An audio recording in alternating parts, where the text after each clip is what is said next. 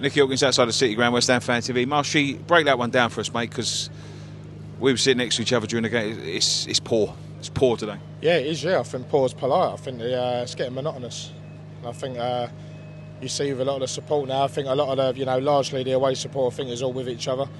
I think anyone who does defend him, I think is is going to struggle now, and they're in more of a minority. Like you know, we've given him chance after chance. Yes, what he's given us over the last three years is some great memories, a trophy, first time in 43 years.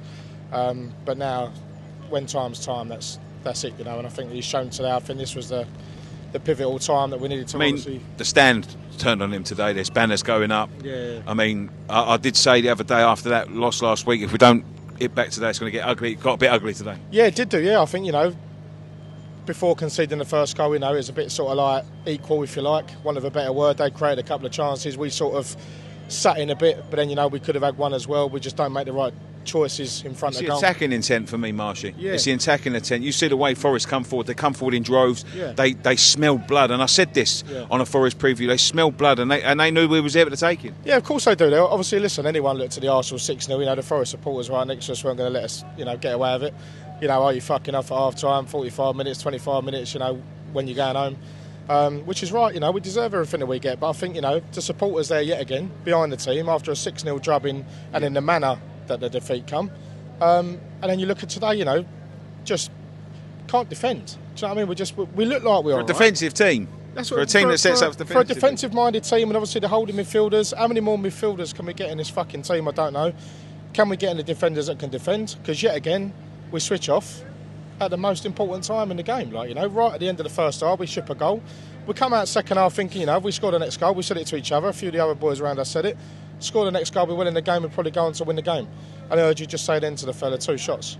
You know, Antonio with one when he decides to pull the trigger. I don't think it. I don't think that was a shot. Yeah, no, well, probably doesn't count as a shot, but that, that sums up obviously largely the way that we went about it. Like you know, we uh, with the Moyes thing, yes, he's gone with the strongest team available. You know, beside him, Paqueta.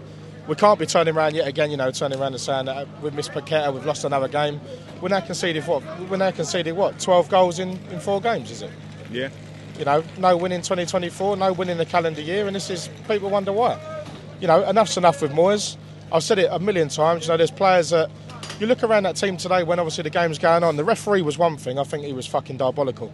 But you look around the players, uh, as you said, the front three.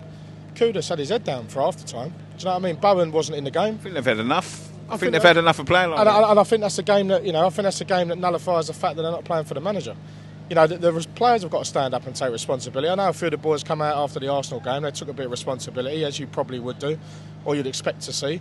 Um, ugly scenes at the end when you know all of us turning around and saying, you know, fuck off. We don't want to see you. You know, you're applauding us, so you should be. They're a bit worried to come over. I see Antonio Kudus and I think Zouma over the other edge nearest the Forest support by our, our section.